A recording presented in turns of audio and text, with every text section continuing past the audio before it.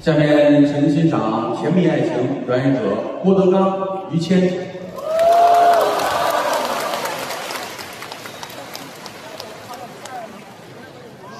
谢啊！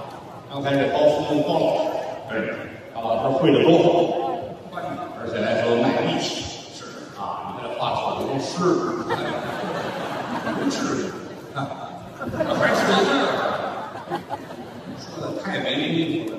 他们下去休息一会儿，对，又换上我和于老师来。我们再说一个，在后台看见于老师换衣服、梳头发，我很感慨。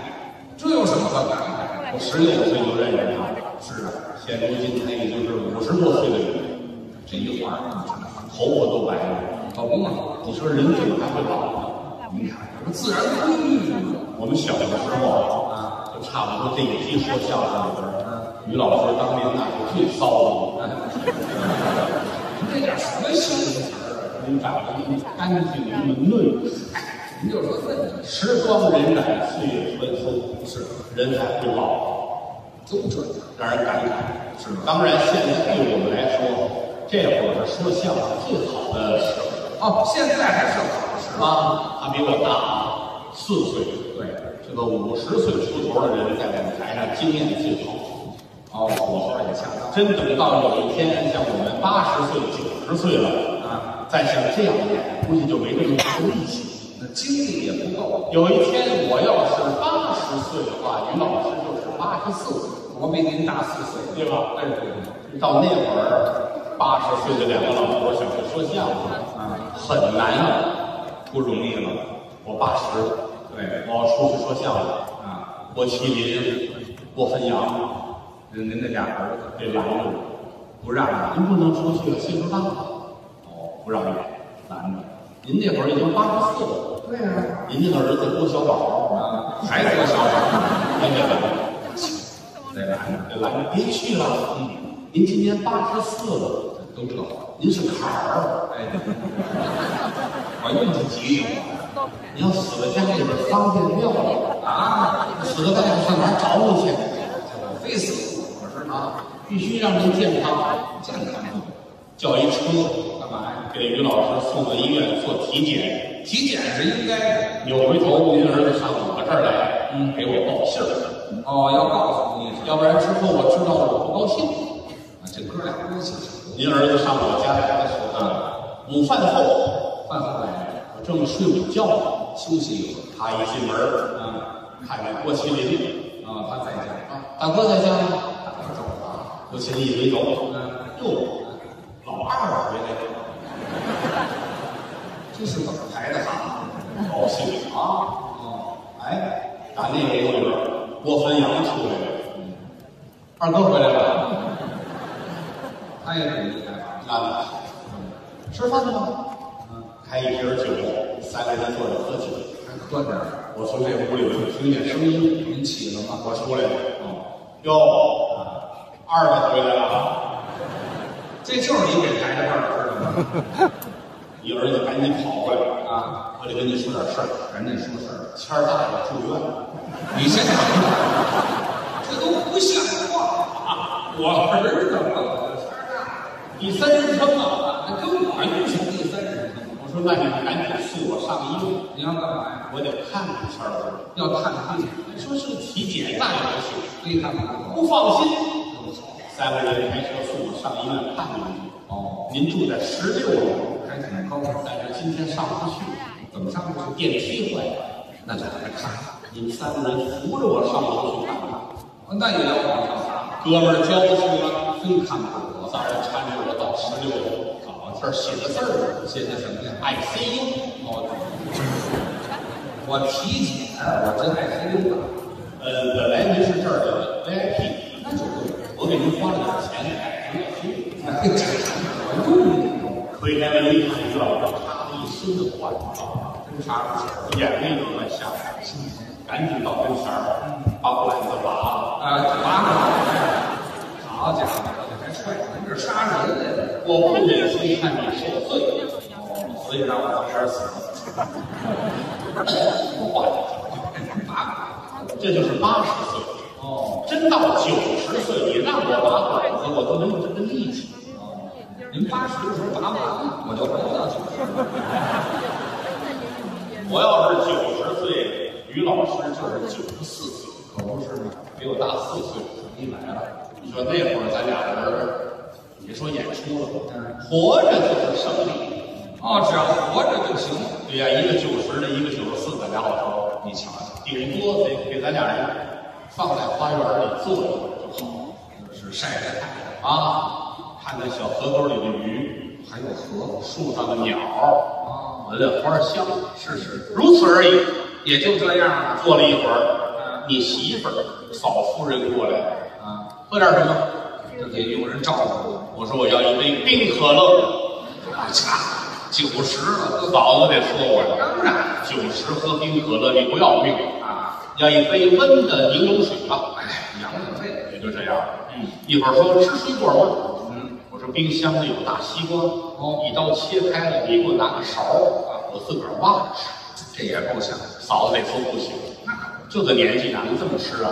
冰西。给你两片苹果，一个荔枝。对了，控制点吧。待会儿问我中午吃什么饭，中午饭我说切两片牛肉，蒸一个蛋羹，要一个青菜的沙拉，哦，也就如此的呗。是的，嗯，哎，啊，他可半天没理我啊！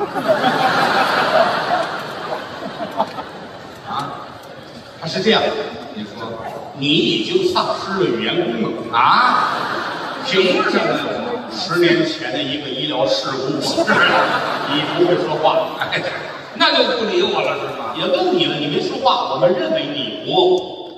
啊，那就我这十年过得太惨了待会儿下午茶的时间到了，啊！我说给我啊沏一壶那个红茶，嗯切两片柠檬，哦，啊，要一个芝麻酱的小火烧，哦切点水果，嗯啊，吃不吃的放点小点心，你瞧，聊天儿啊。待会儿天快黑了，问我晚饭吃什么，我说蒸一块鱼，要一个土豆的沙拉，煮一个糖心蛋就可以了。啊，我吃我的，嫂子吃她的。哎吃完之后，我们两个人守着壁炉看电视。啊啊，嫂子还织着毛衣，嗯，但是她那个沙发离我要远一点，这是为什么？男女授受不亲。我能问一问题吗？什么问题？这时候我来哪儿你还在院里那个轮椅上呢啊？哦，没给我推进来呀？因为中午饭之后啊，啊，外边打雷下雨，哟下雹子，啊，我们怕出去衣服湿了。另外，隔着窗子一看，是，你在那儿坐着像个贵族一样，哎，嗨，哎，我还惦记着拉磨的事儿，我们就没好意思打扰你。那我就一直在外面着着，哎呀，不要紧，看着很享受。很享受。嗯，我托付您一事儿，什么事情？以后真遇着这事儿了，你们俩进屋之前，先别忘了把我推河里去。你这事儿我就眼不见心不烦了。不许瞎说。废话，笑话，你看你自己都这么开玩笑，你还拦着个自媒体瞎说了。我开玩笑，怎么自媒体也有跟着开呢？台上有的时候会提到，比如说谦儿哥的父亲呐、谦儿嫂子怎样怎样，那都是假的。啊有的自媒体拿这个做文章，我很不满意。他们瞎说什么呢？我看见一个自媒体写那个，把我气坏了。怎么说的？郭德纲与谦儿嫂疑似关系密切，把我气的。不爱看，他妈一次，不爱看这个。哦，不爱看这俩字儿，我这些年白忙活了。什么忙活呀？你们这么写，你们对得起于老师在天之灵吗？好，给我说死了，我其实是非常尊重谦儿嫂，是吗？我很早，我十几岁就认识谦儿嫂。是我那会儿住的平房，啊，我从小二楼这过去，啊嫂子挑那个帘子，又来了。行，可以了。大关没有这样，老有这故事这一晃多少年了？啊，他俩人，我我们真是跟亲人是一样的。这就那么近，谦儿哥结婚晚，对，三十岁才结婚。真三十老话说得好，什么三十而立，啊，而立，三十而立，立起来绿了，一绿就立起来了。这啊，就是三，三十而立，嫂子特别好，人就讲理，是性子又直，哎，当然脾气很大。啊脾气大，我们住平房那会儿，整个的一胡同儿啊，没有人敢招惹嫂夫人。他厉害，好，他要是生气了，他能骂你一天一夜，泼妇啊，啊，讲理。有这么讲理？有一次邻居有人得罪他了，啊他从下午两点钟骂到凌晨三点四十，好家伙，不重样，整个胡同没有人。那谁敢比呀？后来我说我劝他吧，哦，我说嫂子天儿可不早了，大半夜别生气了，是睡觉吧。对，这件事情才算拉倒。他听着，临走的时候，嫂子还告诉人家说什么我告诉你们，要不是郭德纲喊我睡觉，没完。有这么说话的？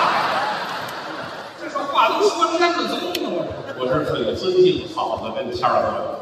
真的尊哎呀，有记者问过我啊你说说于谦儿有什么缺点？嗯，好事儿。我们准备炒作一下。你看，我说你住口，于老师在我这儿没有任何的缺点，没缺，没有完人。善良、低调、疼人、仁义。哦，你要说特点有那人不性特点啊，你要说缺点没有，你真胖谦儿哥有几个特点。啊！我是有第一啊爱吃冰棍儿，我这人贪凉，冰棍雪糕，对吧？咱们吃一根两根就了不得了。是谦儿哥反正每次吃个四五十根儿。哎，我吃一盒儿，这个第二，他爱喝蝌蚪。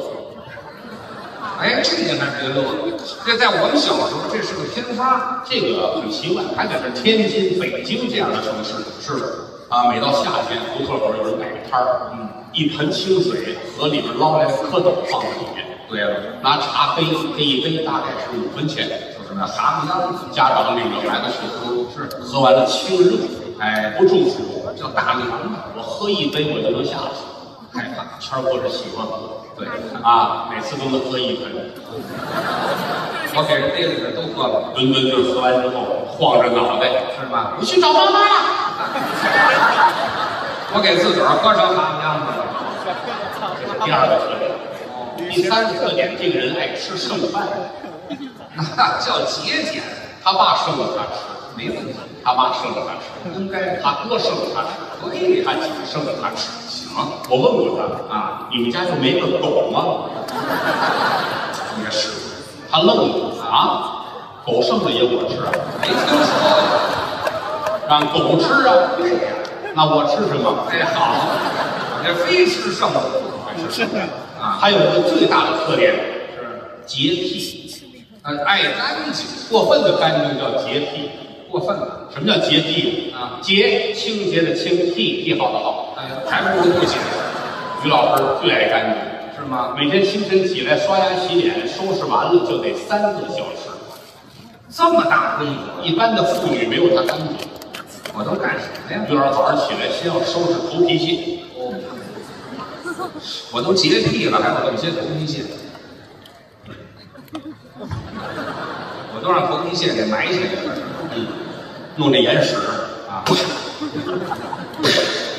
再给灯泡塞上，啊，刷牙齿，刷四十分钟，四十分钟牙。刷完之后呢，K 这牙结石，我每天刷四十分钟牙，我还有牙结石呢，因为牙刷上没有毛，干蹭了，弄一块儿掏耳朵，啊，哗啦哗啦哗啦哗啦哗啦，哗啦哗啦哗啦，哎，我听见了。好，以前堵死的这个，然后揪这鼻子毛，然后那去鼻须啊，他这鼻须长得长，啊，有两天就到这儿。我啊，所以有的时候看于老师一思考就是，呃，没听说过，谁这么思考啊？这个个太难受了。得得老得揪他，揪这个酸疼酸疼的，那感觉哎，这弄完之后挤这粉刺，刺刺，这不能挤了，怎么呢？这还没熟呢，他别急得有白头的，啊！拿笔写字儿，这什么等你，哎嘿呀，我给粉丝拿什么画啊？拿这个找一根牙签儿啊剔指甲缝儿里的黑泥，多脏！手上还长了一个猴子，干嘛？把它撕掉，闲着。这手上有扁平疣，嗯拿小剪子把它剪掉。嗯，哎，有剪子呀？有啊，以后先剪鼻毛。嗯，一算时间，啊三个月啊该换内裤，仨月一换脱下来啊打开柜子，把那条拿出来穿上，这条放柜子里。不洗啊？三个月之后就没味儿了。自然风干，穿好之后，端起杯来，一饮而尽。渴了，喝一杯开塞露，这这是往嘴里喝的，这才是一天。这他他完我十六岁遇见他，我就觉得这是个神仙一样的人。反正正常人干不出。当时我们就给他起个外号，他叫禽兽。我这模样能叫禽兽？他当年同时暗恋四十多个女生，那干什么呀？暗恋人都不知道多厉害！这要是我，我做不了，我记不住。啊！四十来个，我准得忘几个。我能记得住啊？哎呀，我也劝他，你要去追，是看哪个女生好，你追。哦，他说：“你看看这些照片都摆在这儿了，是我不知道谁好，我选择恐惧。我来替你。你选这个，这个这三个肯定不行，为什么？这仨是男的，废话。这个也不行。这个呢这是高峰的母亲。哎呀，我这么不真实呢？最后挑出一个来啊这个女孩身材相貌气质一等一的人才。那我就追她。这个姑娘的名字叫李逵，女孩儿叫李逵，葵花的葵，那也是李逵，小名叫铁牛。哪是李逵？我说你去追，哪怕她不同意，最起码你也死心了。他去找李逵了。哦，葵葵你好，人 大伙儿了。葵葵你好。李逵很大气，他说什么？叫爷爷过甚。好家伙，还是李逵这个。明天我想请你吃个晚饭，好，吃饭。明天爷爷过。后天想请你去看个电影，啊，爷爷不会。不会看。看电影不会啊，我们去散个步吧。啊，我一斧子劈了你个鸟人！别跟人说话。好家伙，回来之后我说这很好，哎，最起码排除嘛。哦，属于你的那个菜还没有来，我等着。等着吧。哎，过些日子上菜了，啊，什么叫上菜？就是属于你的女孩来了，等着。一个偶然的机会遇见了我们的嫂夫人。就是我媳妇。那天其实一个有意思的事情，于老师要去参加一个 party，啊，你看我还在这儿。他的初中同学给他搞了一个剩饭趴。剩饭啊，对啊，全班四十多个同学，每个人带一份剩菜饭。于谦不用带，我呢你负责吃。拿我当垃圾桶了。定的是中午十二点的聚会，午餐十点半还没有起床，有点晚。他母亲就喊他啊，快点起吧，是，太阳晒屁股了。都这么说。他赶紧爬起来，哎往屁股上抹点防晒霜，我这也太浪了又跟那晒了一会儿屁股，啊！这才起床。赶紧呐，流鼻涕、牙结石啊、眼屎啊、鼻须啊、粉刺啊、啊光裤衩啊，以后端起这杯开塞露来，一必不可少。必须换好了衣服出门参加 party。赶紧走吧。走在街上没走两步，斜对过儿就看见一个女孩儿，这女孩是，未来的嫂夫人，就是我媳妇儿。模样相貌气质一等一的人才，好看四目相对，嫂子愣住啊！哎，于谦呢，这，我看过你说相声，哎呦，你看我是你的粉丝啊，这机会我太喜欢你了。好啊！于老师说这女孩那么高兴啊，她也很兴奋，是是，但是你不能兴奋，我怎么不能信？因为你肠胃不好，这还肠胃什么她肠胃有问题啊？你想吃冰棍儿，啊？喝蝌蚪，哦，吃剩菜剩饭，常年下来，他的肠道不好，闹病容易闹肚子，是，尤其是兴奋或者紧张的时候啊，说来就来，要闹。今天一看这女孩一高兴，哎，来，坏了，肠胃就拧起来了。这叫来，但是那儿女孩那站着呢，又不能不矜持一点。我得绷着点儿啊！女孩高兴，于老师，我喜欢你我就跟人打啊！于谦儿还往前走了两步。是吗？嘴里都拉不开栓子。面对面的站着，于老师这几句话说的云淡风轻。我说什么？你好，认识你很高兴。你瞧，茫茫天地，这么多的人，我们能够相识，这不是咱们的缘分吗？还跟人拽？感谢上苍的恩赐。好了，有一个不情之请，说，我是否可以到你们家去拉个稀来？哎，太泄气了，这话姑娘说荣幸，啊，还荣幸我家就在这里，啊！请于老师到我家。你赶紧的。完了，我们方便留个联系方式吗？现在吗？当年没有微信，是留了一个电话。哦留完电话带着于老师走，快点吧。身后就是他们家了。哦，进来之后推开门，又推开洗手间的门。哦，姑娘说就在这儿。干嘛呢？这是？哎呀，啊，对对不起啊，嗯，我们洗手间的声控灯坏了。哎呀，不在那个了。谦儿哥说，你躲开那儿。哎，一会儿弄你一身。嗯。进了洗手间，把门关上。手机上有有灯，我找着了。拿灯照着马桶。于老师坐在马桶上，全身心的劲儿，这点力气全用在这儿啊啊！这怎么回事啊？灯就亮了。我把人家声控灯都治好了。这房间里头三百多灯泡，厕所啊，亮如我说房顶子上三百多灯泡。对，好家伙，没拉过这么亮的屎。这一亮了就可以仔细打量一下洗手间的装修。参观一下。它这个洗手间四面都是落地透明大玻璃，卫生间，嗯四面透明玻璃，一览无余。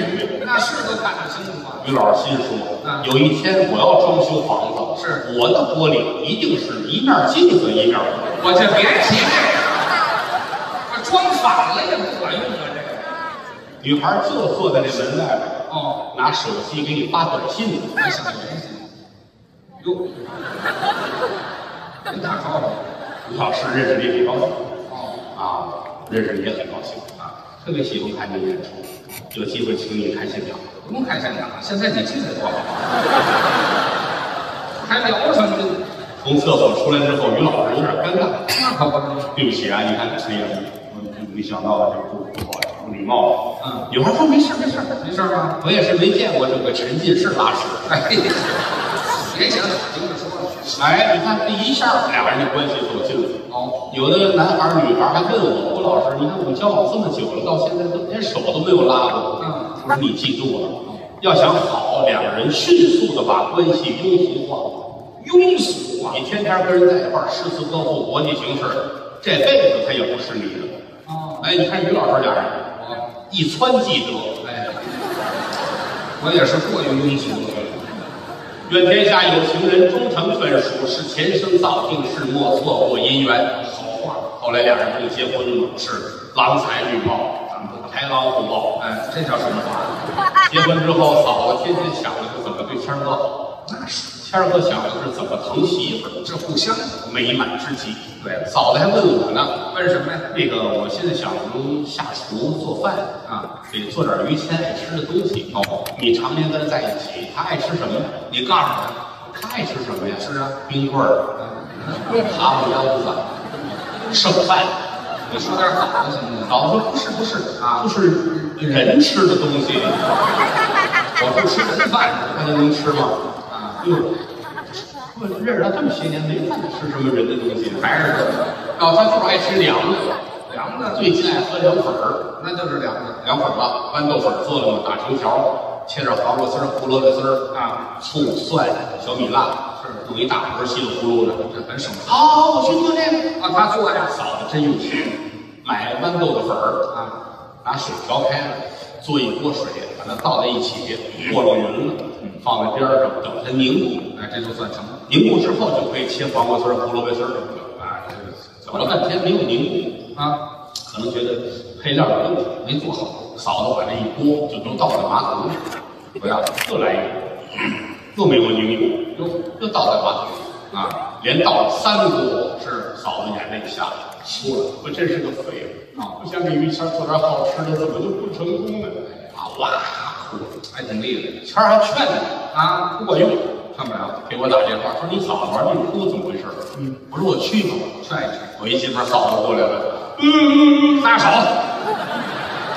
什么毛病这是撒手，家还有人呢。啊？什么叫有人呢？先说，先说怎么回事？啊，先说呀，为什么哭？啊我给他喝两本不凝固，我都给倒了。对，你到哪儿了？我就倒在马桶里边了。哦，怎么会不凝固呢？啊我看看吧，怎么样？这不凝固吗？在那儿凝固了。这三锅倒到马桶里边凝固，哦，Q 弹 Q 弹 的。谦儿站在我旁边儿，啊，那么接下来呢？我也是那么催的。我说你给我拿一个盆儿来，盆儿，拿一个盆儿，哦，我切点黄瓜丝儿，啊，胡萝卜丝儿，还点蒜小米辣，醋蒜盐糖。呃，那个香油没有香油我吃不下去。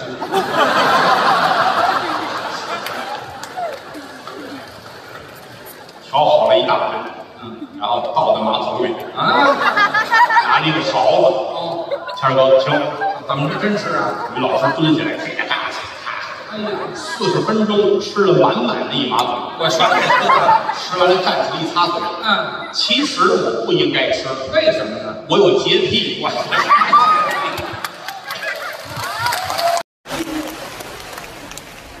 下面请欣赏艺术的技术，表演者郭德纲、于谦。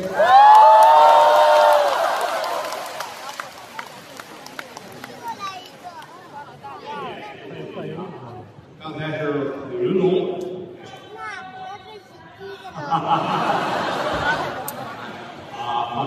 大概是凉快凉快。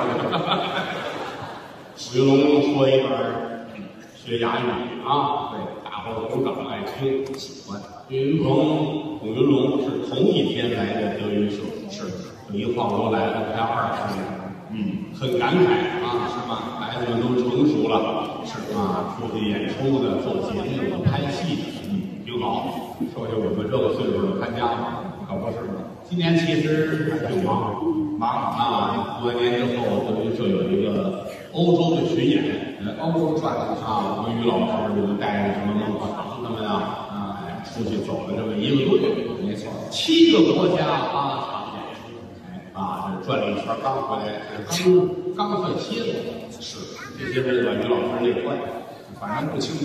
呀，这叫岁数人了啊啊，年轻人出去有时差，老了挺累的，嗯，何况谦儿哥。安排的。我我看着我其实挺挺心疼，哎呀，我忘了是从哪儿来的，哪个国家飞哪个国家了啊？我印象很深，在飞机上于老师困得不行了，啊迷迷瞪瞪，看着挺心疼。终归是五十几岁的人了嘛，岁数不饶人啊，在飞机上于老师咕噜一下起来了啊，去洗手间上个厕所，啊，我就看见走道都晃着，嗯，我想过去扶他一把。于老师到飞机洗手间，啊打开门，啊，里边坐着一个大姐，这个大姐也是睡得迷迷糊糊，忘了关门。都挺累的。啊。这于老师也愣了。啊大姐也愣了，是大姐，哎呀，这这这门门关上。老把门关上，这会儿，哟，这对儿才醒。对，这大姐还没完呢，怎么着？出去把门关上。我在屋里呢。好家伙，我给自个儿关屋里了。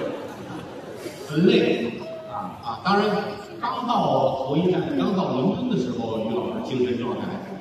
那刚到还好，刚到挺高兴啊，对，我印象很深。头一站是伦敦嘛，啊，到了之后正好是早上四五点钟，啊，于老师说我要出去遛弯儿，嗯，那叫晨练。你真得出去，嗯，你也不会说句英语，助理、翻译、工作人员都睡觉了，你一人出去，万一丢了出点事儿，没法救。他说我会说哈喽，你这开有点玩笑，会说个哈喽就难上学啊，你哪怕说个 good morning 呢？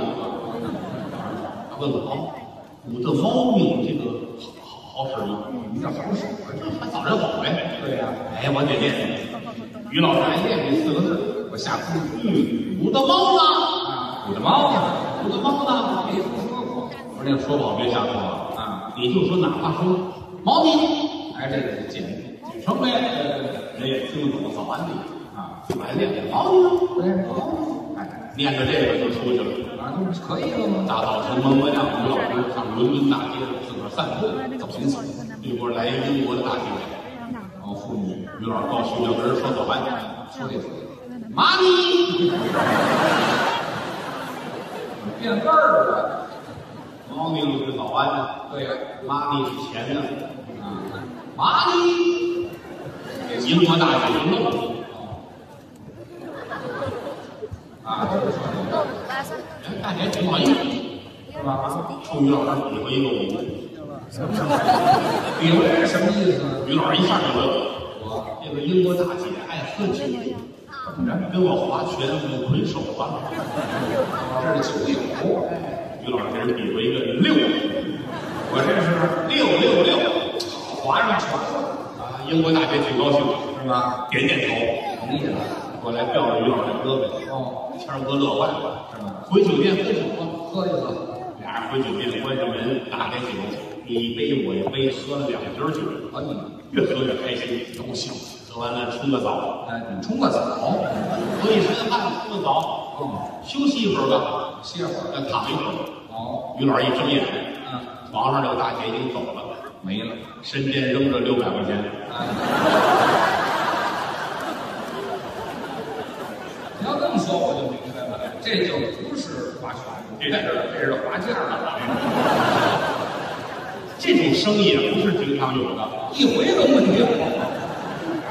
我要劝于老师啊，我说不要认为你有一个再就业的工作啊，呃，这种事情可遇而不可求。到了这个年龄的人，你就好好的说相声。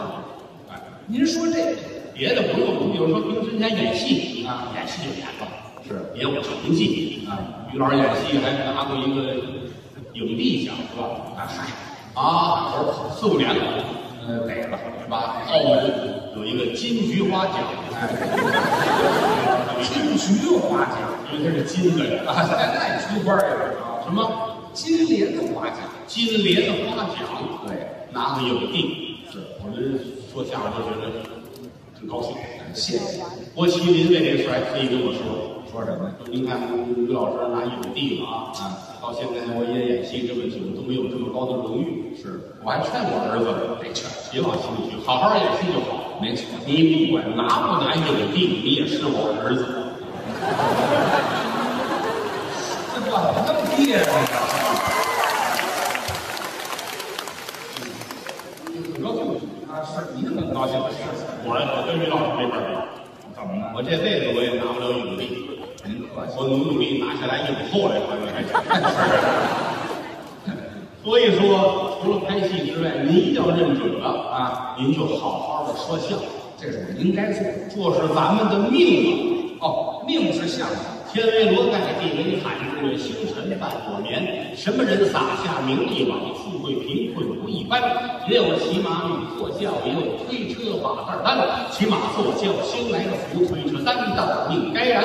骏马驮着吃灾汉，美妇人常伴着服眠。八十老翁门前站，三岁顽童染黄泉。不是老天不睁眼，善恶到头报应循环。再来一个还是这个，怎么想起说这么几句呢？什么意思呢？这就是咱俩人的命运。哦，这是感叹命运。人生在世离不开命运两个字。嗯，它不是封建迷信，它是有它的道理的。那倒是。啊，人一落生就俩字儿，一个命，一个运。哦，命，命就是你的出场设置。呃，原厂设置，哎，一出场，你这个设置就是个说相声。命该说。哎，那个人的出场设置就是个主持人。啊，这是唱快板的，那是演电影的，是这个东西几乎改变不了，没法改，这是你的命。那个运是可以动的，啊，运是可以动。一动一静两条线左右人的一生。你看，比如说这儿放着两碗米饭，哦，举个例子，啊，两碗米饭在这摆着，这碗米饭被人吃了，经过消化排泄在厕所，这个就是这碗米饭的命运。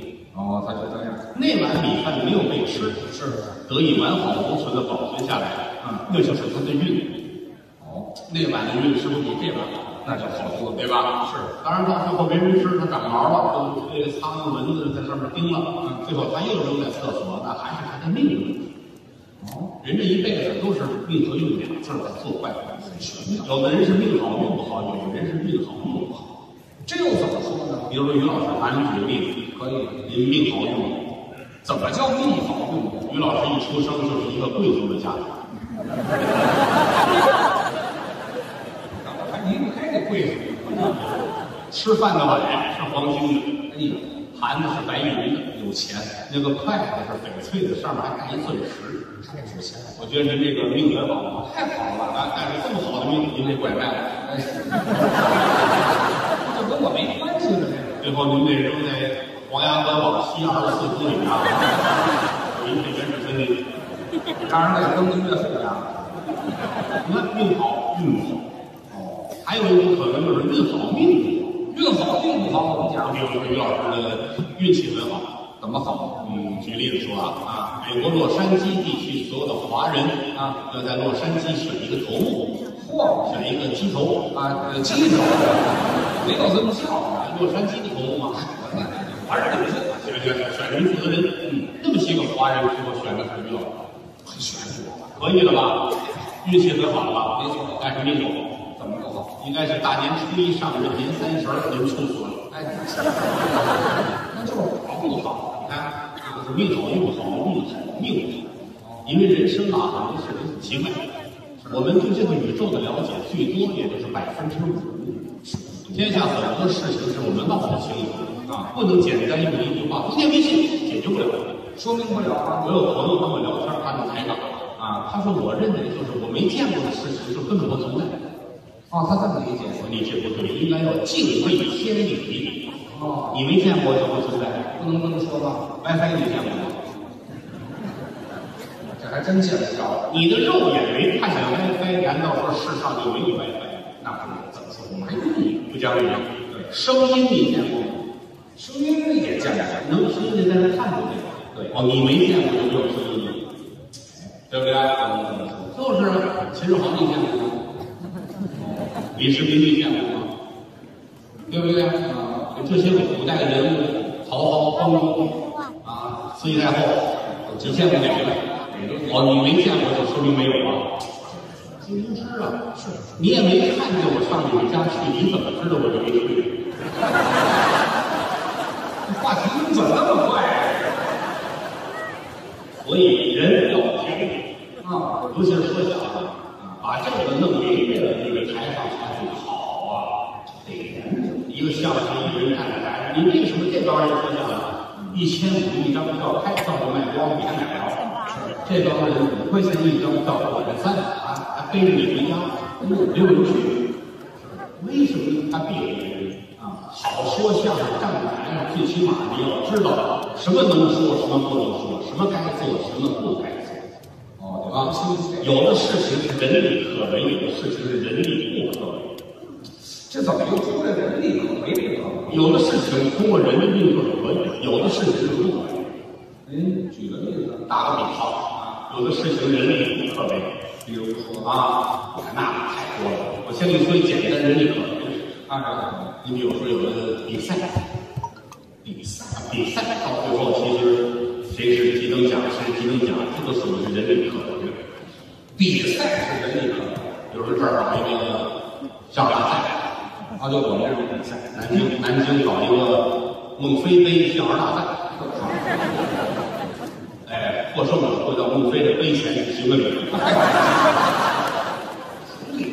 就随便说，孟非杯相声。啊，冠名哎，然后一道关一道关的比赛啊比到最后马上明天要公布名次，啊，到结尾了，一等奖、二等奖是谁的呀？是啊，评委们在屋里面商量的这个过程，其实就是人力可为。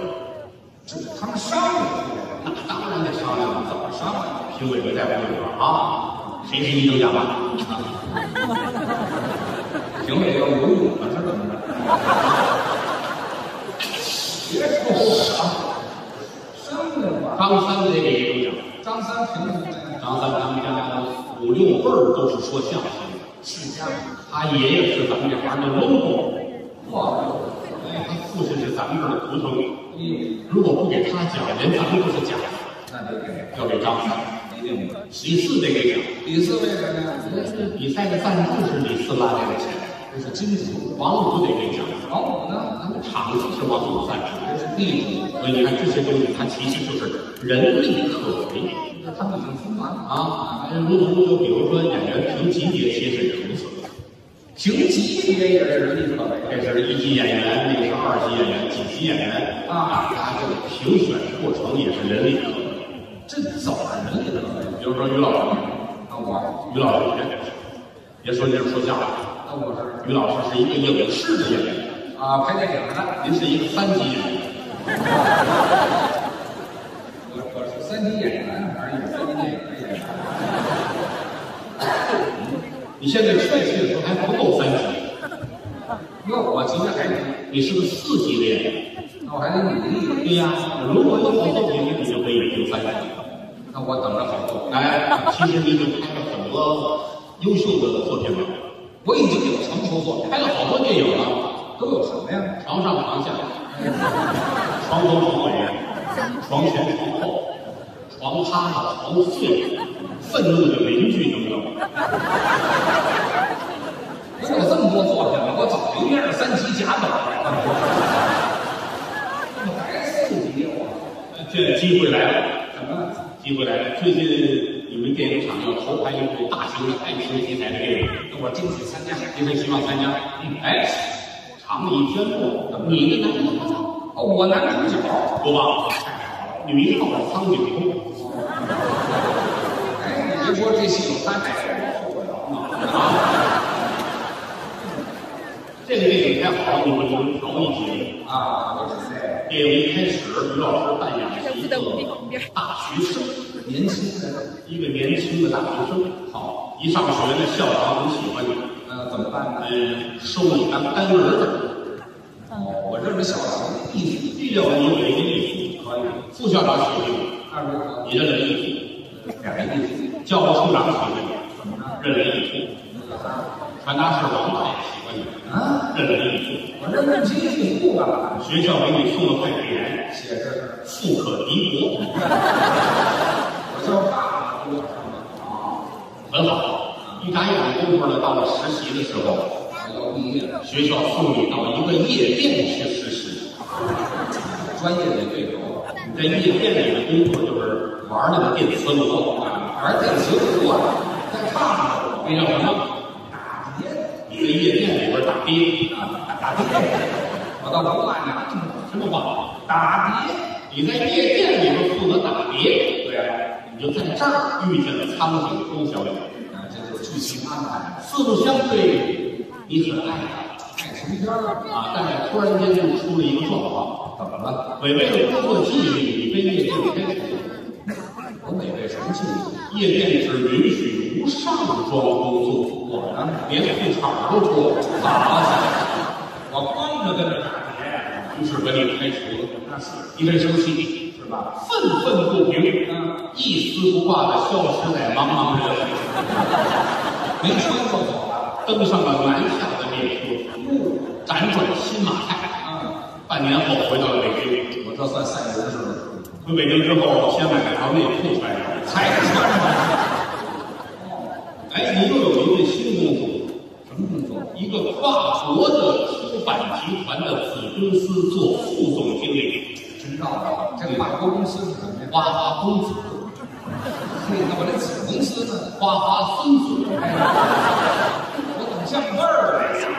副总你还干不了。哦，当副总的时候，你又一次遇见了苍井空小姐，这就是缘分。你决定向她求婚。我早就应该说，于老师买一大粪地，嘿，要这么递过去啊，留一素套。不太浪漫，想了办法，怎么办？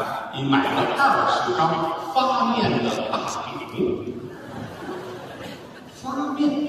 北方的老太太愿意在家里烙饼吃，尤其愿意烙发面的饼，发面饼最厚，一张饼这么大。我哎，二十张，拿过其中一张来，把这钻戒拧进去。搁在饼里。二十张饼装在麻袋里，背好了，拉着苍井空两个人出去春游，我带着出去玩儿站在山坡上一抖这麻袋，去你地！这是满山遍野都是饼。我把饼撒到山上了。于老师拿手一指，那个哦，苍小姐就跑过去，捡起饼来，咔咔咔咔，就吃掉了。那个还有过去啊，简短结束，吃到最后一张、最后一口的时候啊，这是钻戒。这苍井空有点太背了。最后一个二十张你都吃完了，于老师接过钻戒，准备求婚，仪式感很强，我怎么办？双膝跪地，那叫双膝跪地，我这干妈来的，怎么说？单膝跪地。单膝跪地，递过戒指，苍小姐接过来戴好，啊接受了你的爱情，好极了。电影结束，结束，结束，您这剧本苍井空能接吗？啊，给那么多粮食，应该差不多。苍井空这个没来的是吗？电影上映，票房大卖，就是火了。但是你们电影厂常常很为难，您说难？手里有一个三级演员的名额，哦，是给于谦还是给苍井空？这两个人谁对我有用呢？是啊，啊，那苍井空对你有用，这个，这咱真是比不了。你看，这就叫人力可为。谁不给谁，不给他一句话吗？他决定到这会儿跟艺术有什么关系呢？这叫人力可为。大概其人力不可为是另一回事。不可为是怎么回事？你比如说，咱俩人参加武术比赛，哦，练家咱们是俩武术家，可以啊，没有任何黑幕，单凭能力来打比赛。就打我擅长使用青龙偃月刀，耍大刀；你的特长是指甲刀。啊，我在没有任何黑幕的情况下，这还要什么黑幕啊？咱俩大战三千的回合，你猜会怎么样？我还猜什么呢？我肯定成馅儿了。这就是人力不可为。啊，你比如说咱俩跑，从这儿跑到墙根儿，我跑了七秒，行，你跑了十四天，嗯，这是为什么呢？为什么？肯定是轮椅坏了。我跑那儿。这都属于是人力不可为。哦，你包括今天现场这种演出，这种商演，啊这都是人力不可为。啊，你说咱们过来慰问也好办啊，找一小区啊，找一什么单位，在你们单位找一大屋子，摆上四十把椅子，叫点人来听相声，也不用给钱，好安排。这没问题。这个就不一样了，体育馆楼上楼下啊，坐这么些个人花钱啊，你观众是最聪明的，你让人家真心白意的买票，那就来不到半点虚假。对，跟观众打交道，你打算骗他，他就准备害你。是相辅相成，所以说观众是我们的衣食父母，就在这儿啊！再次谢谢各位，让您过来了啊！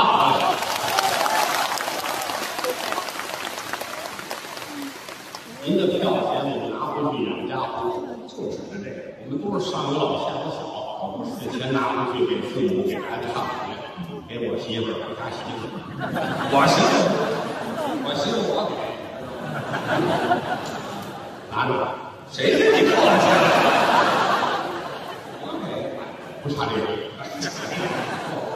所以说，这个就属于是人力的不可能，他来不得虚假呀。能明白？啊，把这个弄清楚了，一个好演员还要有深厚的基本功。基功很重要。我们说相声有四门功课，叫坑蒙拐骗，哎，你瞎说学逗唱，拖鞋上炕，我写上炕，什么？说学上炕就上，别好，说学逗唱，说学逗唱，对，嘴里干净，那是基础。每一个字儿要送到观众的耳朵里，清清楚楚。对，我们哥俩演过最多的一场是某一年在大连，对，还有一个踢足球的体育场，你们家体育场有将近十万人，是。活受罪了。没法演，头一排观众离着我都有两站地，看不见。因为这个声音，它跟你我不是认为这个声音和你分家啊。我们俩说相声话，出了我的嘴，通过话筒，把音箱出来进到您的耳朵，嗯，它有一个过程。是，而且关键进了您的耳朵之后，这声音还会出来，它会传给我。这个声音在回来的路上，我的第二句话已经出去了。明白这意思吧？就看一哎，这第二句话打音箱里边出来，会追上我前面的同句话。这时候我第三句话已经出来了，就这三种声音在空中就打起来了。观众听见是一个声音，我听见是三种声音，我嘴里还得说着话，旁边还有他跟着讲着话，所以我脑子特别清楚，得分辨哪一个是我，哪个是他来的。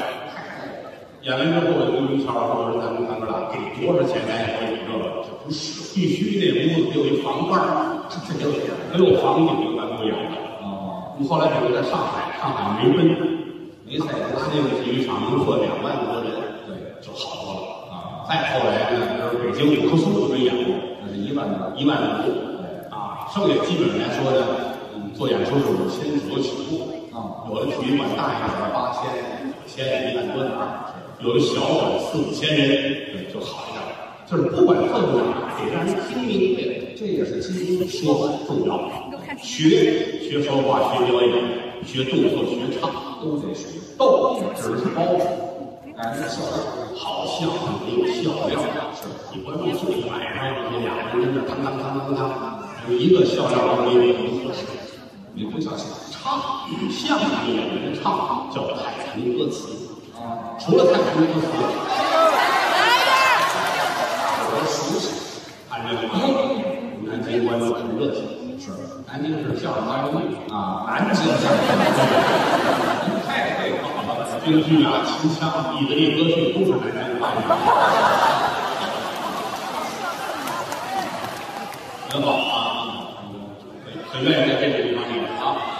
这个南城市秦腔越剧院有吗？那唱几句太平歌词吧啊！好，唱一个什么呀？叫小飞，那真有名人，是吧叫小飞刚说唱一个太平歌词，但是好几个叫小飞。啊，太平歌词是六个字，当时我就能说出来了啊。啊，哎呀，我单刀会，有有喊单刀会的，还是有名的人啊。什么单刀会？这个保安给这人录的，哎，当是有内行照片。好，好几位朋友都喊着单刀会我给你们唱一个骷髅派。哎，您这人什么脾气？你看，你让他猜着了，下次他就不买票。庄公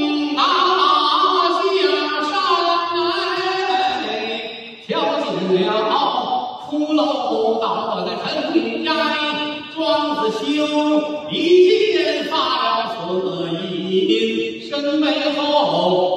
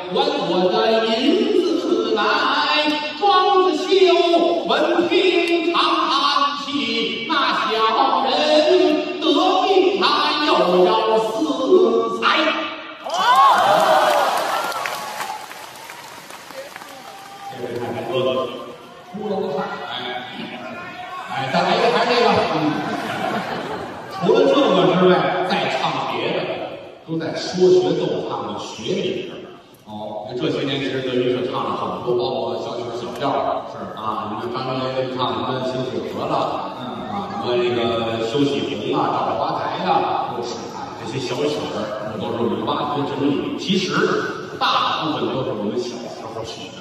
啊，那时候小的时候，老师啊、先生们呐、真是你必须得学，再不学这都是失传的。是我们自己也得努力，也得喜欢谁会就好。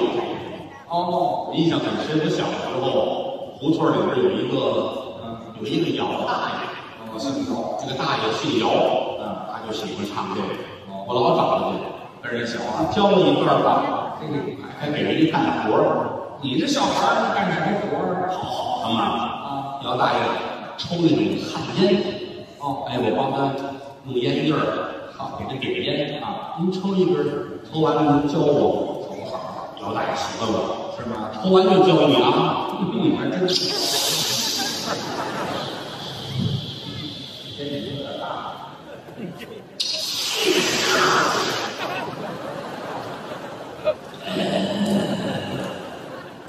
别说这还真得赶紧学，你知道吗？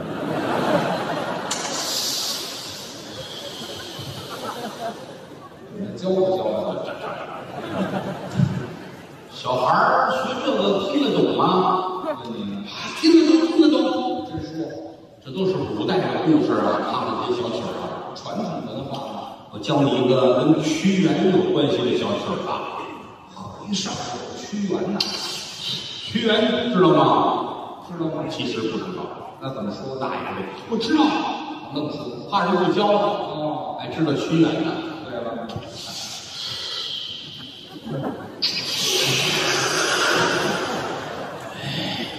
这根烟有多长啊？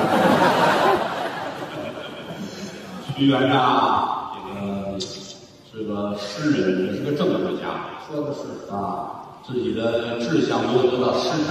哦在五月端这天，怀抱着石头沉入汨罗江附近，这是历史。后来咱们吃粽子，对，就是为了纪念屈原啊，民俗教你这个啊。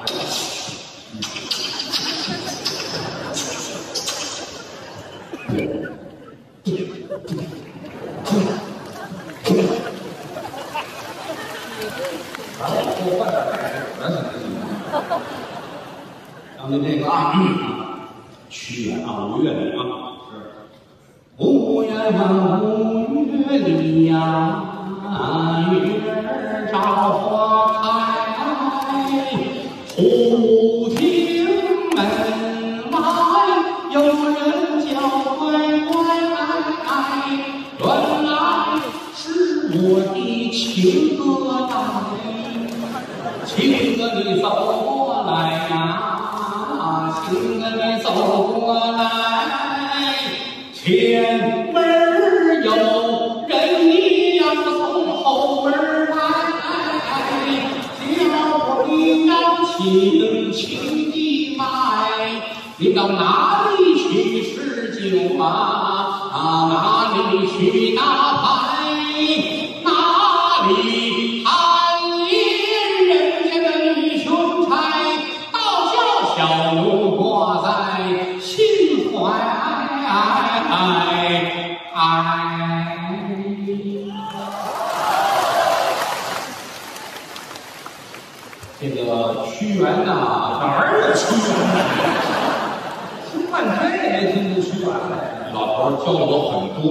是吗？哎呀，高兴！哎呀，大爷，我学会了，还有吗？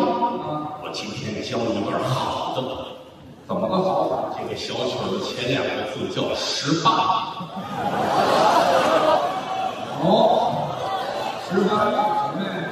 咱们跟他们不一样，咱们已经改了，改什么？咱们叫十八不让摸，哎，不让摸，这样避免了举报的问题。还要举报？哎呀，汉字博大精深，改成两个字之后，意不一样。有区别吗？你比如说，我要跟你一起睡觉啊，这就是个流氓。对吧？我要跟你一起起床，这就是徐志摩呀。是啊。哦，他这么理解。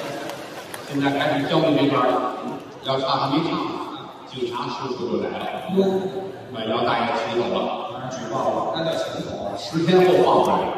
拘留。哎呀，姚大爷您回来了，真气，躲开我这儿！急了，就是你这个孩子勉励怎么呢？就是姚大爷，你闭嘴！不让叫，谁姓姚？不姓姚吗？于于大爷，于谦是我儿子，你知道吗？没听说过。哦，你看，我要学一个正能量的小曲儿有没有？有吗？哎，你早说呀！我就会一段。那唱啊。你听我这个，嗯嗯嗯，混沌初分，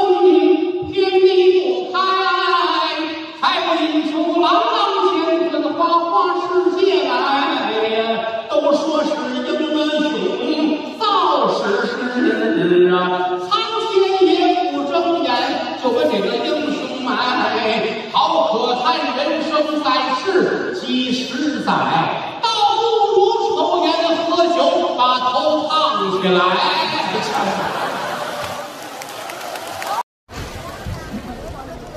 下面请欣赏《泼天富贵》表演者郭德纲、于谦。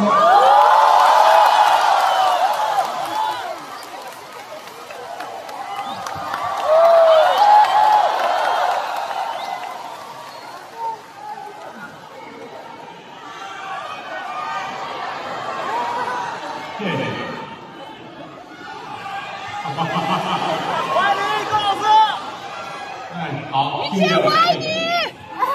哎呦！哎，好，听见了，让人感动啊！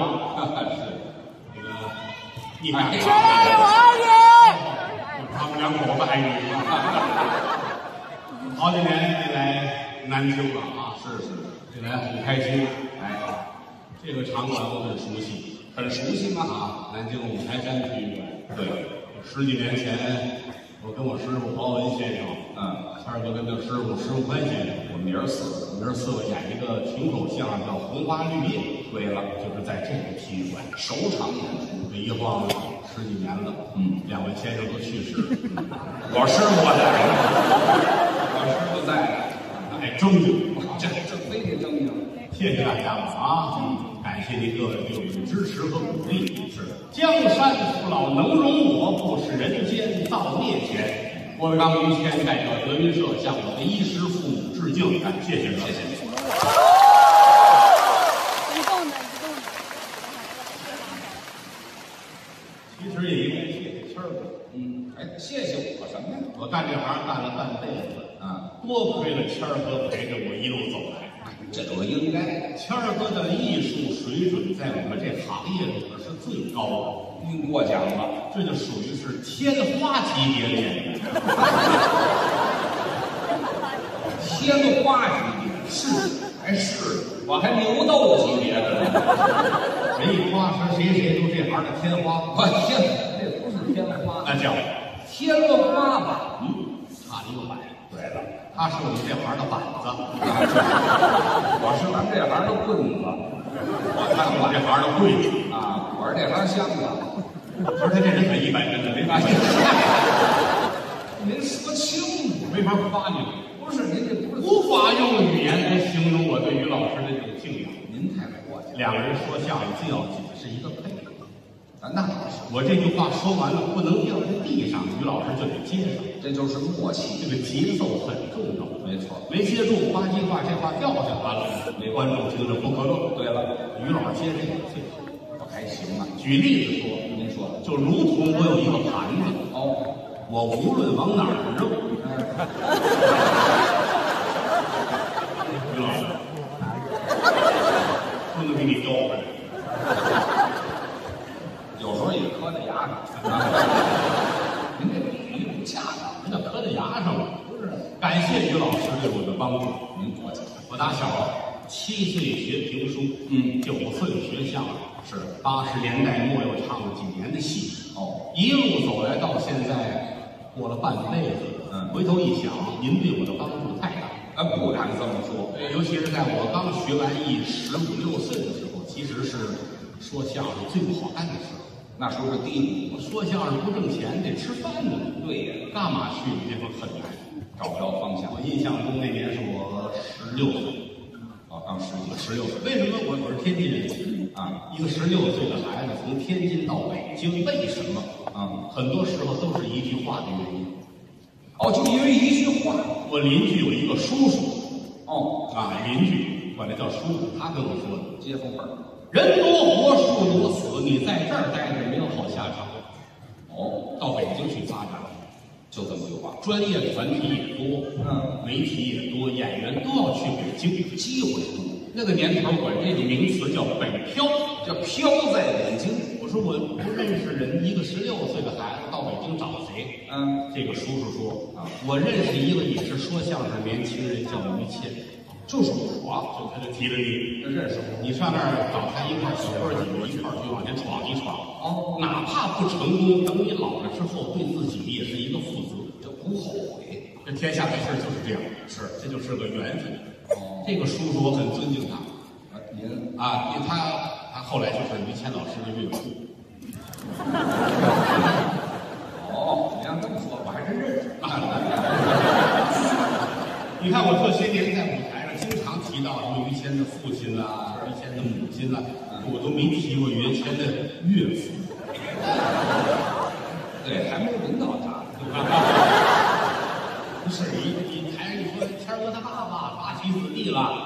不是你，你台上一说谦儿哥他爸爸八旗子弟了，蒙古国的海军司令啊。这 都是瞎说，我瞎编的，都是假的。拿起来就敢说。对但是对他岳父，我一个字儿都没提过，呃，是尊敬，就是这份尊敬。哦，感恩。你看看人家当年这一句话，那会儿我最迷茫的时候，就当时提点你了，老头跟我说：“你要去，你不要再犹豫，是吗你再犹豫二十几，马上就三十几了，这辈子耽误了。哦，这过得快。哎呀，现在回头一想，人家是我的贵人。哦，你这岳父说：“我送你去，哦，他还送你，明天我送你到天津的长途汽车站，希望你进北京闯出一条路来。哦，他要送你上车，我到现在这个画面就在眼前，怎么意思？这是一个夏天，哦，我穿上自以为很规矩的一身衣服，什么叫规矩？白衬衣、蓝裤子、白球鞋。那时候就很规矩。哦，他岳父没有，我得穿个大背心啊，大短裤，送炸的穿个拖鞋，我就就在眼前这画面。背心裤衩，啊，就岳父那个背心上还还印着一个鳄鱼。那那还是个牌呢。四十五岁往上的人都会了解，在那个年代，嗯，T 恤背心上有一个鳄鱼，代表了身份。对对，那是牌子。呃，什么这个鳄鱼的头冲哪边儿，还什么盗版啊、正版呢？啊，对，有这么一说啊，对，岳父背心上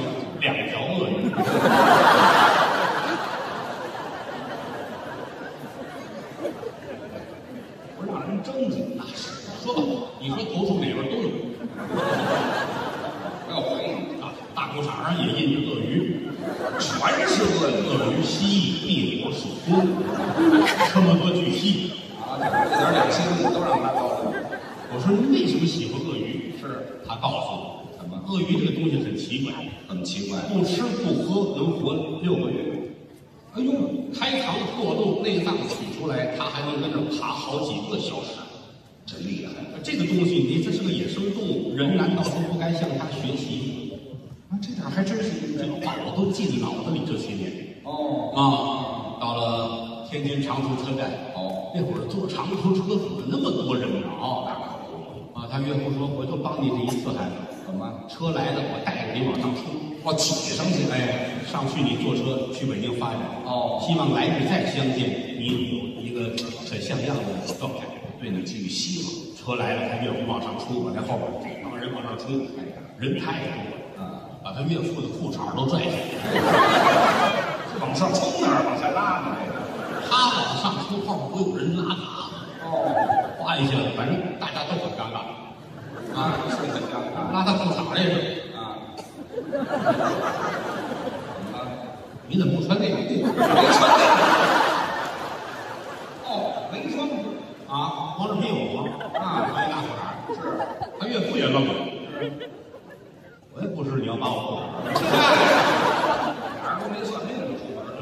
弄得我还觉得挺不好意思。哦，看他岳父不开心，是啊，我给他买了根雪糕，啊，卖卖火，吃一根雪糕拜拜火吧。是，他吃一根，我吃一根，俩人对着吃。吃雪糕。他岳父一边吃还告诉我啊，记住了，啊，看见没？这就叫社会的艰辛。哦，出门在外不会有人顾及你，叫啊，什么互相谦让，估计以后你用不上了啊。所以记住了，这都是给你上课。好，雪糕这棍儿一扔，是走，干嘛？跟我追刚才那辆车去。人 那车走了还追他干嘛？不一辆接一辆，坐后边的。就是啊，不行，为什么？我裤衩在这车上。光着屁股这还叫一半天人呢？追到那个车上，我上不去啊啊，隔着玻璃，嗯，啊，我喊，喊着加油，孩子，努力哦，你要成为天下最好的说相声的。嗯，我也要加油，成为天津最好的生意人。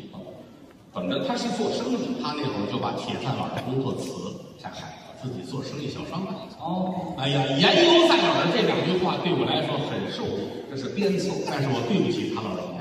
怎么呢？这么多年过去了，我没有成为天下最好的说相声。您也不错，您也很好了。中国相声界比郭德纲强的有的是。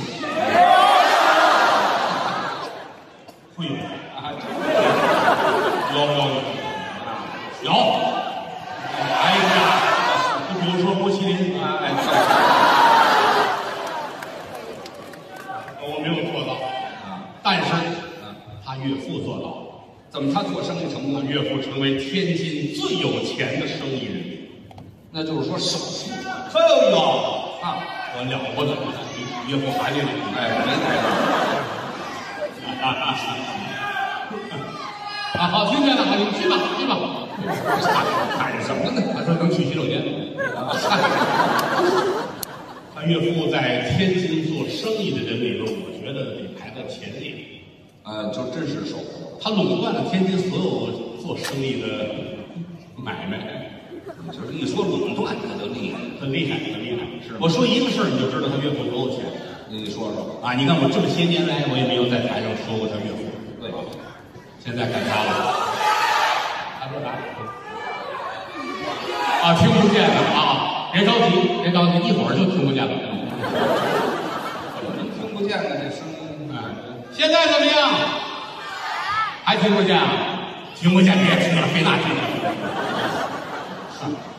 这个他岳父，你看说说哪儿都给你搅和，咱们重来啊！他岳父送我上长途汽车站，从哪儿来的？是吧？哪儿这可以，这倒回的太多了。他们说没听见你岳父这裤衩这个。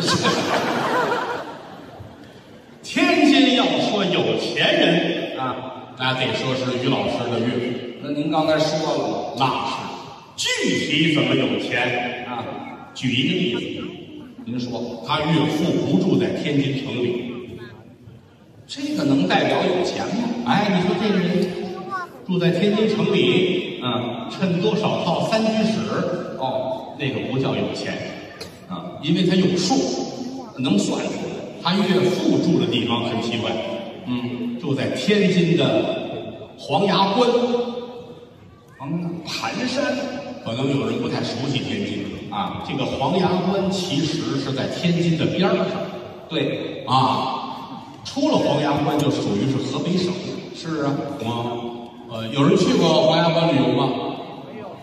没有，没有啊，那就好办多了啊，啊，那就好办了啊。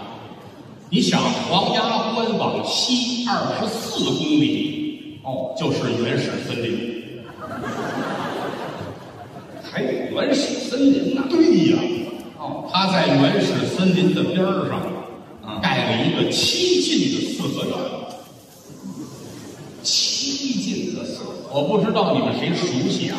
啊四合院这个东西是论进的，一进去。一个院子算一进，哦，两个院子是两进，嗯，三进的四合院就带后花园了。那就更厉害了。他岳父这个是七进的四合院，嗯，想想，啊，七进对，这已经进了原始森林了吧？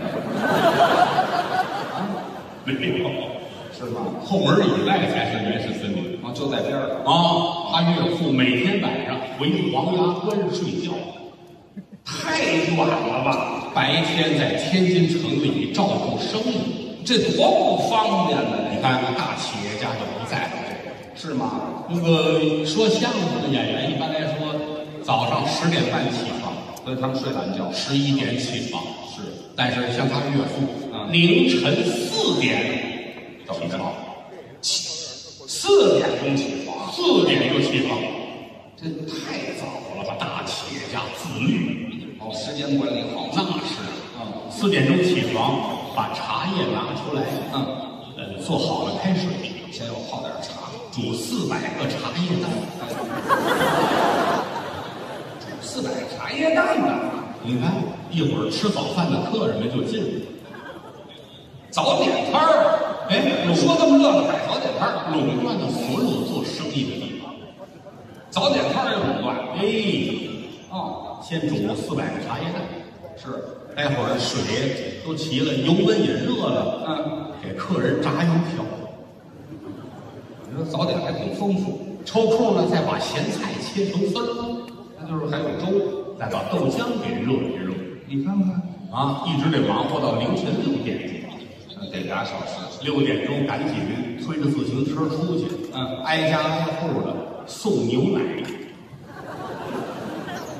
这事儿也归他管。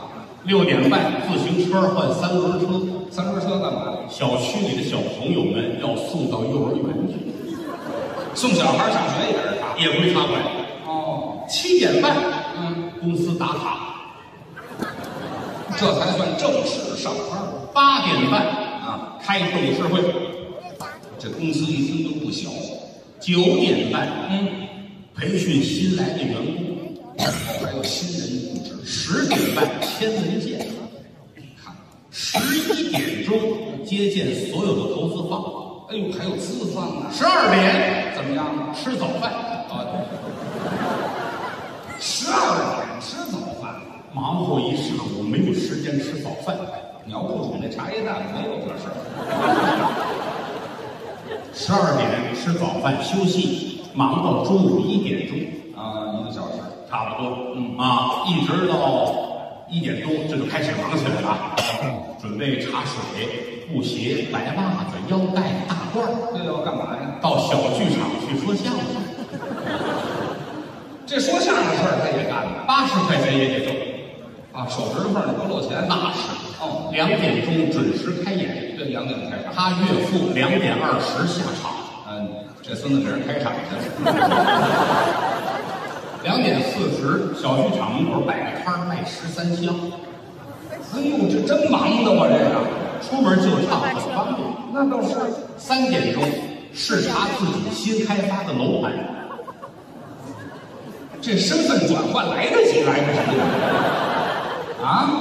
四点钟嗯随机挑选两个村子去捐款，慈善，哎，这点钱挣得多不容易。那是有进得有出啊。哦，从那儿出去？五点哦，疯了一样的往家里跑，干嘛呀？打开冰柜，把羊肉串拿出来化着。晚上这摊就要出了，六点钟客人就来了，哦排好队，不能伤老鼠。给大家烤串儿。哦，嗯，七点钟准时骂人，呃，城管来了。哎，哦，不能骂人。哎，八点半开董事会，他就不怕顶事，我看见了他摆摊儿。是啊。哦，九点半推车出去给人家炒面，又来了，炒面、炒饭、炒饼。这叫夜宵。哎，十点半找一个河边儿跟老太太们跳大舞，这忙成这样，还有这闲心呐？得忙到十二点。哦，夜里头深夜十二点歇一会儿，哦掏出手机来刷抖音、看快手，干嘛呀？给女主播刷礼物。真够闲的，我跟你说。嗯嗯嗯，这个工作一直得忙到凌晨一点钟。啊，忙半天，一点的时候把身边所有的人都赶走，干嘛呀？屏蔽左右不要打扰我。不见外人。凌晨一点啊要和漂亮的女秘书谈一谈感情问题。还有这环节呢？那当然了，哦这是凌晨一点的工作。是是，一点十分出去散步，就谈十分钟啊？啊，就跟你一会儿聊十分钟是吗？可以累一天了。哦，哎，你安排多好。对对对对啊！两点，快捷酒店门口卖玫瑰花。又恢复工作状态。两点半回黄崖关睡觉，夜里两点半还回去，无论多忙，必须回家睡觉。干嘛呀？这是？四点还得赶回来煮茶叶蛋。哎呀，好家伙，嗯，不够他挣的。老两口子很恩爱，那倒是。他岳父岳母，嗯一共是四个孩子。对，嗯，这还有功夫生孩子吗？这个，好家伙，给女秘书才安排十分钟。不要不要胡说啊！哦，所以说我是很尊重他岳父，是吗？哎呀，老头儿对我很好，哦，送我到了北京，认识了谦儿哥，才有日后这一路走来。啊，后边的过程，对，当然谦儿哥对我的帮助也很大。他们大。呃，您客气，真的真的。到北京之后遇见谦儿哥，我觉得换了一种活法，是吗？因为之前活法跟那边不一样。哦遇见谦儿哥才知道人的生活是有品质的。呃，品质。到了北京之后，我就在谦儿哥住的那个胡同儿租了一间平房。哦，对，我们那会儿都住。啊，天天跟着谦儿哥屁股后面跑。谦儿哥告诉我，嗯，啊，买烧饼，你到哪家老字号去？哎，那家做的好吃，买牛肉到哪家老字号去？那儿有名儿啊，买咸菜到哪家老字号？这讲究，咱们才知道，哎呦，人生的活法是不一样的。这就叫品质。你看，包括洗澡，洗澡怎么样？谦儿哥说必须要去清华池洗澡。对，这北京的老的澡堂子，清朝末年光绪二十一年的澡堂子，您看看，在那儿洗澡。对，那时候咱不理解啊啊，带着我上这儿来，哦，看这块匾了吗？有有匾，三个大字清华池，就这么写的。这是清朝末年的匾。对，只有在这儿洗澡，这才是咱们的身份。那真代表谁。于老师脱个一丝不挂，洗澡啊，我还有点害羞。您看第一次，谦儿哥说我啊，脱呀！不是，谦儿哥，怎么的？咱还没进去呢。我在门口我就脱了，我们在青花池对面，马路边儿马路对过，哎，跟前儿这马路来回过六趟车，这么宽。大宽马路。哦，他站这边指着那块匾，你看见了吗？倒霉就倒霉了，哎，青花池啊！哦，我一看跟着吧，是啊，我给谦儿哥抱着衣服，抱着鞋，我们俩过马路，我就光了，特别大气。是吗？我就别嘚瑟了，进了青花池，于老师特别的谨慎，谨慎什么呀？仔细观察每一个人，我这看什么呢？担心他们偷拍。我在门口那时候已经上热搜了吧？洗澡的事儿不大啊，说明一个问题：什么？贵族的生活是不一样的。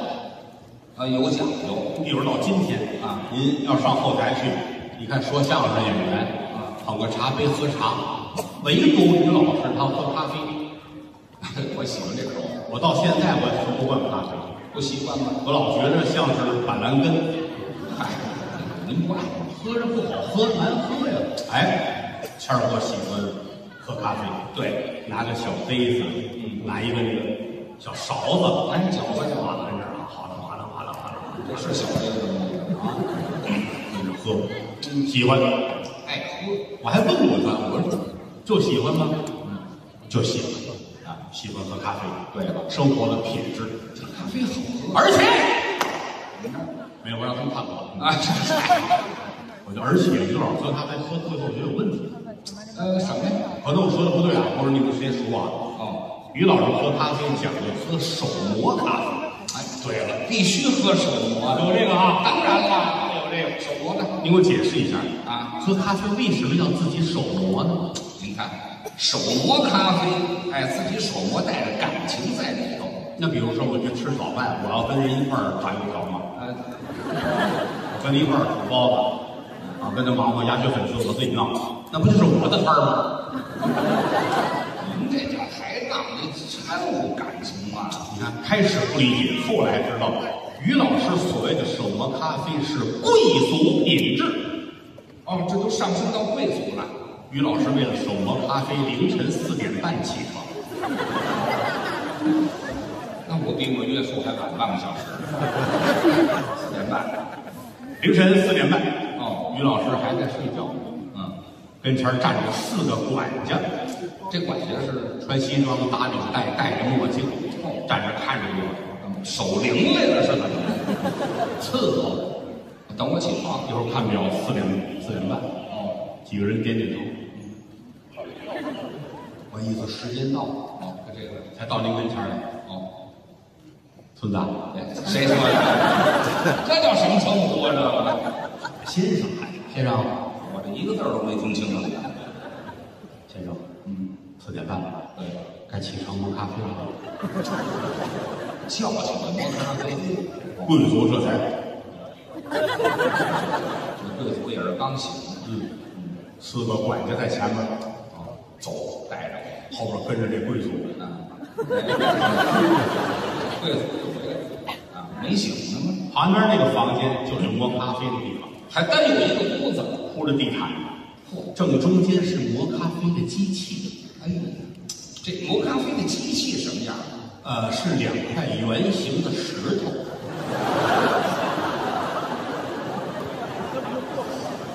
嗯，这两块石头怎么放的？上边一扇儿，下边一扇儿。您一说扇儿，我就有点明白了。旁边还多出一个棍儿。对，没有棍儿怎么扶着呀？哎，嗯，贵族过来扶这棍儿，你看是不是？还迷瞪呢？哎，管家一伸手从怀里边掏出来一条丝巾，这是什么环节呀？给贵族把眼睛蒙了。哎，这是把贵族偷吃啊！蒙好了，贵族一回头，嗯，哎，这时候铃铛就响了，应该是。后边又过来一个管家，嗯，站！这踹上了，你给一脚。贵族开始磨咖啡，我这是磨咖啡呀，一会儿就磨完了啊！有时候还给续上三百斤黄豆，主要是为磨这黄豆。磨完之后自个儿端着杯啊啊，拿着小勺，嗯，一和了咖啡，是啦啦啦啦啦啦啦，太没气了，身份。谈不知道。哎，贵族喝着咖啡，嗯四个管家还得问是于先生，今天您做什么消遣啊？啊，就是玩儿什么。玩什么？对了哎，嗯，贵族说了，我说，游泳。哦，我喜欢游泳。一说游泳，这四个人就忙活起来了。这忙活什么呀？赶紧给你查查，今天是青岛好呀，大连好啊，哦，漳水岛、威海是上海边儿，广西哦都有您的私人领域，私人海滩这海边儿是您有自己的，了不得。给您查完了，比如今天青岛好，是水温也合适，风速也好，哦哦。都查完了，给您那儿安排好了，那边说，这边送您上青岛，哎呀，青岛海边儿都安排好了，安排？太阳伞也支上了，哦。沙滩椅摆好了，是各种水果、饮料、茶水，哦。这儿还站着二十个女服务员，这二十个女服务员是专门伺候您的，啊，就在这边等着了，一溜站好，二十个女服务员，毕恭毕敬，哎，打这边贵族就就来了，是吗？哦，到这儿贵族给自个儿脱个一丝不挂，哎，我怎么到这儿先脱衣裳呢？换上游泳裤衩好游泳啊，我家里换完了不完了吗？私人海域你还管那个去？那这二十个女服务员是卖票的，是怎么着？花钱雇的伺候你的，那伺候也得看看。二十个女的站一溜啊，贵族一丝不挂，哦，你看我说得给人展示一圈嘛。哎，行了，我就别亮相了溜达溜达也就三十来分钟啊，半个小时啊啊，这二十人也看腻了。啊，快去于老师，哎，这才拿短裤穿上，扫不大眼。哎，穿裤衩啊从上到下只穿一条游泳裤衩一条游泳裤没有上衣，没有裤子，没有袜子，没有鞋，光着脚，没有帽子。对了，哎，坐在这儿，先吃点水果，还吃水果，一会儿下海了，肚子不能空啊。哦，吃点青萝卜，白萝卜，胡萝卜，是吃点干炒黄豆，吃点炒黑豆，喝点凉啤酒，啊，凉啤酒，哎呀，吃的倍儿饱，是点根烟，还游不游泳了？我就跟这儿嘚瑟什么呢？一下水很长时间啊，不抽根烟，有瘾怎么办？哦，行行行，嗯，沙滩椅也白摆了，抽根烟是，到最后是这四个管家，怎么着？呃，于先生差不多了。行了吗？不是这个天气，我们这个皮大衣太不不打冷，冷，冬天呐，冬天我光屁股跟这儿玩四十多分钟啊，贵族就是不一样。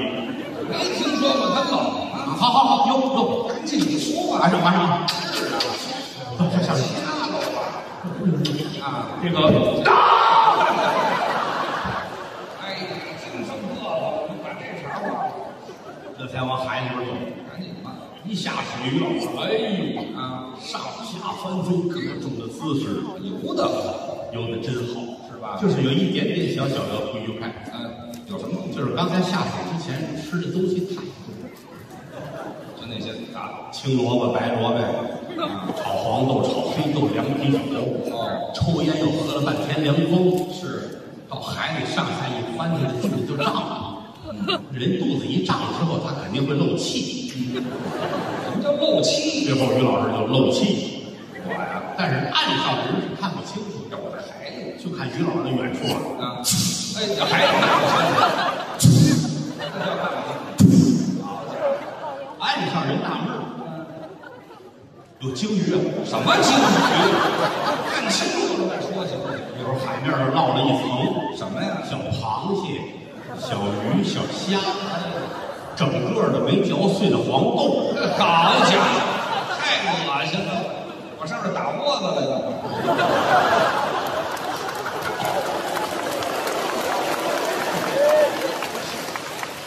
贵族的品质，一点都没瞧出来。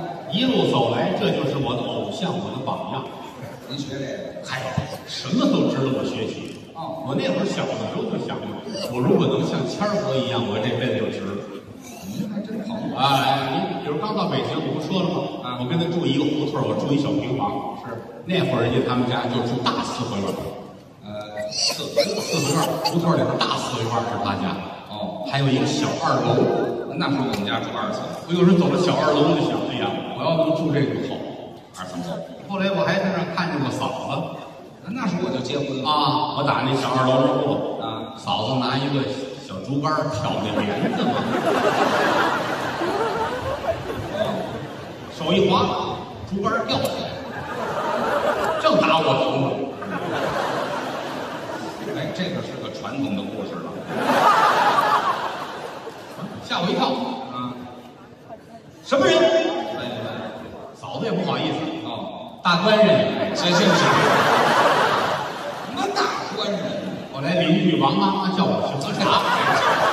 别往下说了，哎呀，我就想什么时候我能住上这种房子呀？不羡慕。当我能住这种房子的时候，谦儿哥已经住别墅了。那那越往好了。啊，他住联排别墅。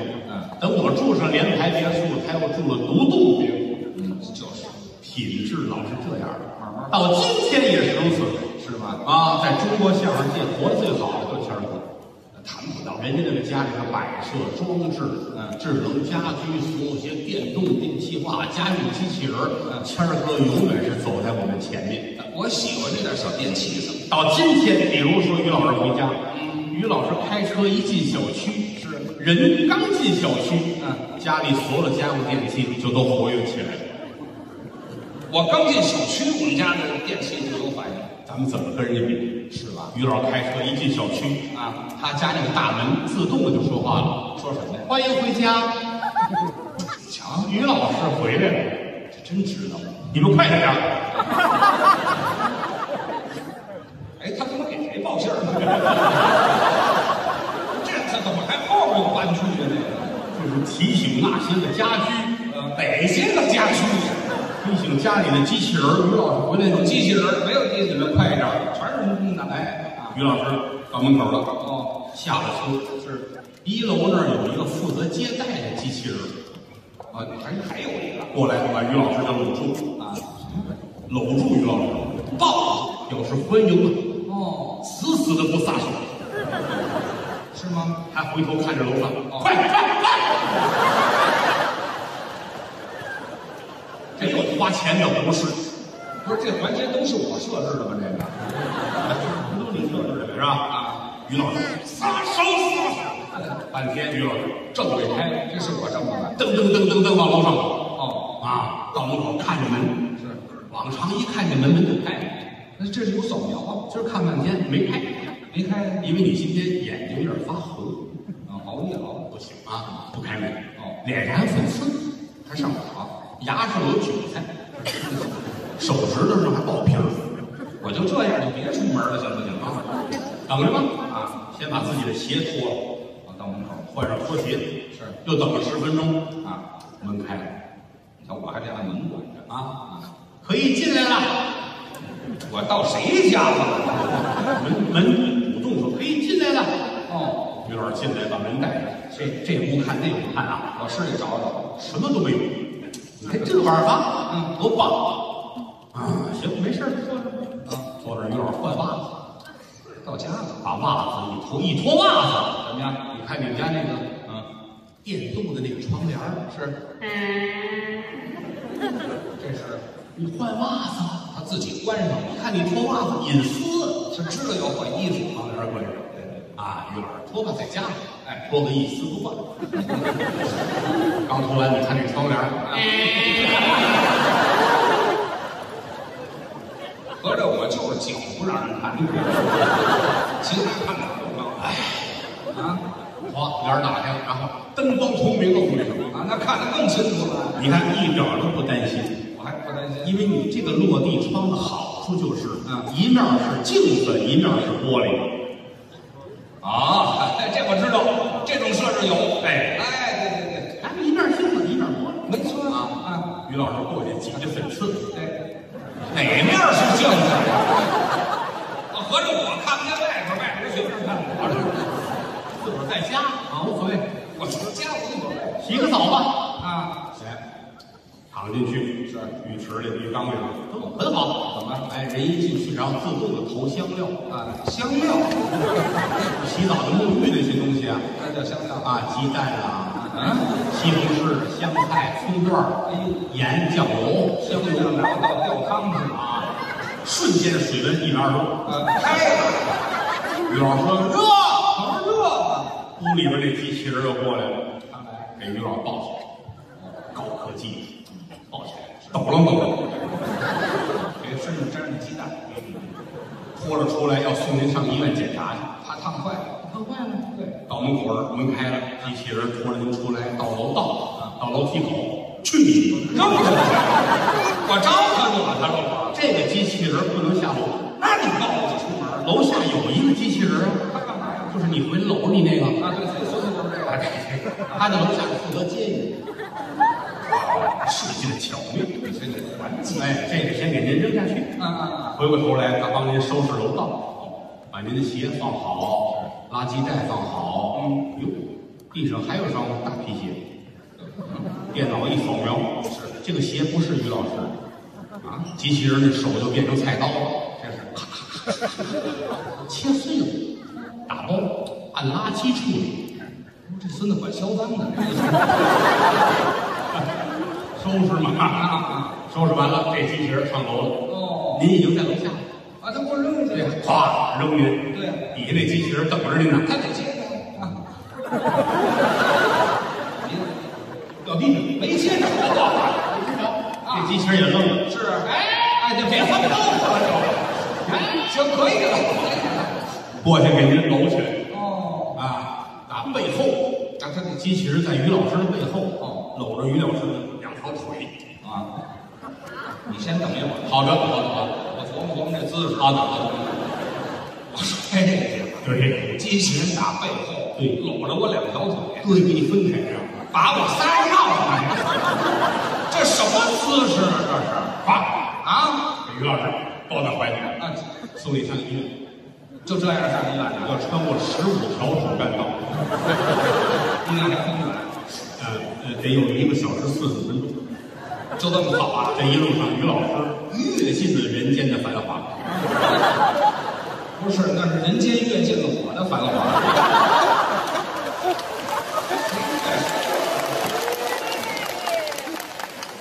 到医院了。啊，您去的医院都是最了不起的那种高科技的医院，有智能吗？这大夫也都是机器人啊。大夫都是啊。于老师放好了，选择医生吧，好选择，医生都是机器人儿。选择什么呀？你是选老北京风格的，还是英国伦敦风格的？啊，他我北京人选北京的，哎，你说选北京的，北京风格机器人医生进门儿来吧。来了，您这？